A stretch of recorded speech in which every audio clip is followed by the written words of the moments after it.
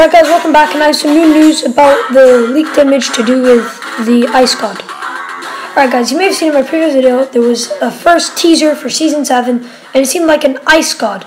Well, Donald Mustard uh, tweeted out, he's waking up.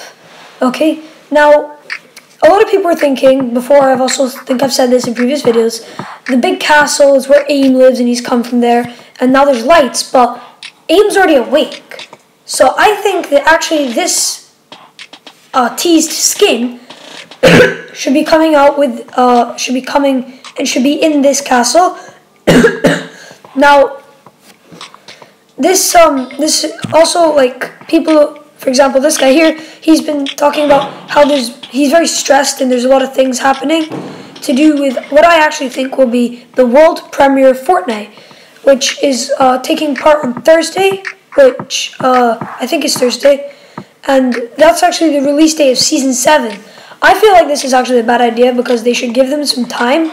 Also, in this tweet, he talks about the battle dash, which I'm guessing is to do with that. I'm not exactly sure. I didn't have a lot of time to look over these things, but that's that's what at least what I think about it. Now, with I think that the uh, snowstorm should actually, the ice pieces should start being visible near the water very soon, probably today, tomorrow, I don't know, but they're going to get close as season 6 is drawing to an end. And just before I wrap up this video, in my last video, I put up a picture on the left shoulder of the uh, teased skin. You might see this little guy skiing.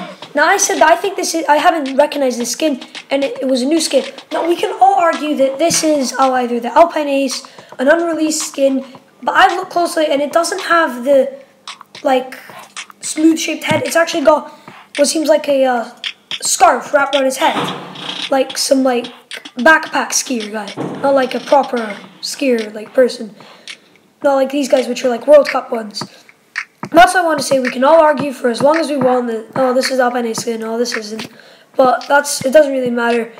Just someone commented that. But that's about it for today. Um, I really hope you enjoy your day, guys, and I'll, and I'll see you all next time.